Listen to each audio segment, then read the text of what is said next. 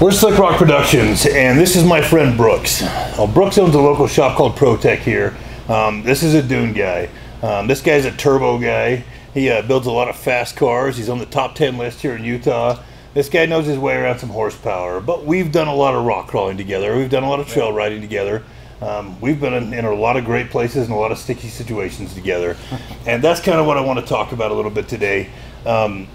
We're out testing cars, we're testing stock cars, stock components, aftermarket parts. We're pushing everything to the limits to find its breaking point. And when we do that, we're looking for companies and we're looking for products that are that are uh, superior over factory stuff. And in doing that, we end up in a lot of situations where we're pushing the limits quite a bit. There's a lot of times we're sitting out there and we're looking at a ledge we know we can climb, we're looking at a trail that we know we can tackle, something we want to jump, and sometimes things don't always work out as planned, right? I think we've both been there.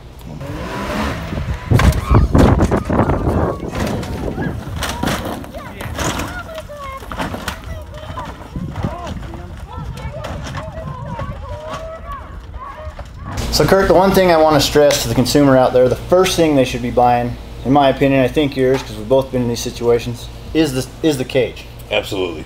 You know, the funny thing is, is we watch guys and you know they spend money on wheels and tires, stereos, wraps. I mean, all kinds of stuff. Right. But Makes it really, look good. it does look good. But really, the cage is the most important safety feature out there. Absolutely. There's been many times we've wrecked stock cars, we've wrecked aftermarket cars, and you know the cage is really the thing that protects you and it protects your family. You ride around with your kids, you ride around with your wives, and nobody plans on a wreck. You remember that one time you said, "Hey, watch me roll"? No, it never happens. No. You know, it just it just it just kind of happens. There's always accidents, and there's been lots of uh, places where we've wrecked cars, stuff we've done over and over again, and sometimes things just don't work out, and you cannot predict that. And so there is in every state there is great fab guys. Um, we have them here in Utah. You know, uh, Sandworks, RSK, uh, Vent. Um, Gilly Fab. I mean, these guys all build phenomenal cages, and they protect us. They keep us That we safe. all use, yeah. We, we've we've been in a few machines as of late on accident um, with stock cages, and we've rolled them, and they don't hold up as well as it turns They out. just don't, yeah. And it is a really important safety feature. One of the top, you know, on, on my list, the cage is the very first thing that should go on a car.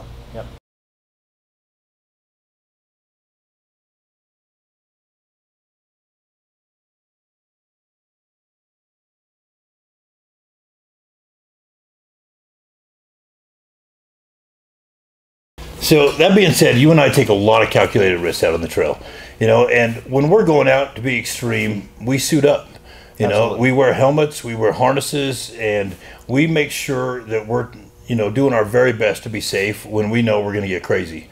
But you know, there's times when we're out rock crawling and we're kind of doing the slow control, and you know, if the risk of is rolling over once in, in a lot of areas, that we don't wear a helmet. Some of that's because we're communicating with each other as a spotter, but we don't recommend that to anybody. You should always think safety first.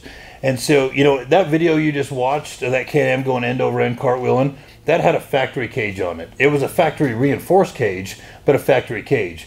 Our plan was we bought a fleet of, of these Can-Ams um, to put in our SlikRok arsenal, and we've been really excited to test these cars. And we wanted to go out and we wanted to push the limits with them factory. We wanted to test them stock. And so, although that cage was reinforced, you know, we talked about this. We are like, we're going to go out, we're going to take it mellow on them, we're just going to we're going to crawl them and jump them a little bit. But that's not in our DNA. It's not what we do. Every time we go out, we find something to push the boundary a little farther. And so we have decided that we are not letting a machine out of our shop again without an aftermarket cage. The risk is just too great. Because once again, you don't plan on a wreck. You don't plan on rolling. Nobody ever does. It just it happens. And with guys like us, it probably happens a little more frequently. We've demolished quite a few cars this year. Right. But we like to push those limits, and in doing that, we know that we want to be safe. You want to protect the occupants of your car. You want to protect yourself. So when you're looking at building the car, think safety first. A cage should be one of the very first things that you invest in. If you don't have a local guy, reach out to one of our guys. They build some of the best cages on the planet. And so, you know, seat belts, helmets, um, aftermarket cages. We want everybody to be safe out there. We don't want to see anybody get hurt. So uh, be safe out there, and we'll catch you on the trails. So real quick, I was thinking about going and jumping the Can-Am.